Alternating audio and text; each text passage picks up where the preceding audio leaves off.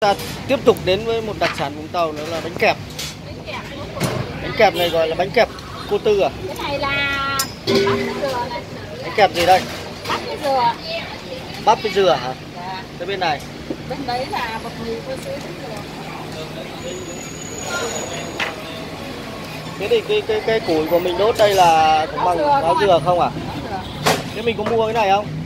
Để để chuyển lên ờ, bán cái này tôi ở Bến Tre này. đó mua đó Bao tiền một ờ, tấn? bao tiền tấn cháo dừa kìa ba Để để hả? Sáu dừa. bát bên này Ký một ngàn hả?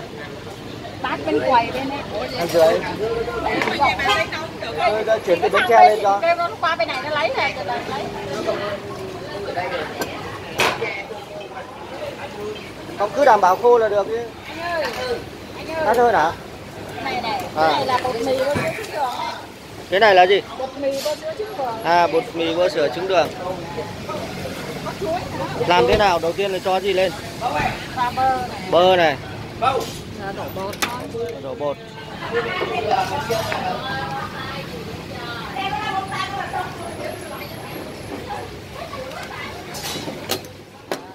Xong đảo.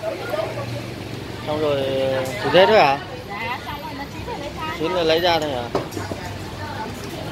Bơ đấy là bơ thực vật à? Bơ gì? Đây là bắp. Bắp dừa. Đâu đâu cái được đâu, cái hai cái ba ba chục đâu.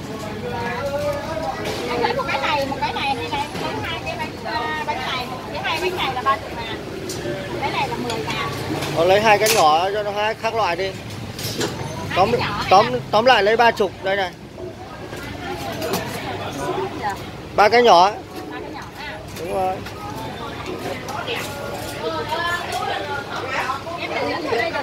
Vâng vâng bỏ vào đấy luôn. Đây ba cái bánh rất là thơm ngon quý vị ăn thử cái xem thế nào nhá. Ui giời. Hết sức thơm ngon. Rồi chào cô.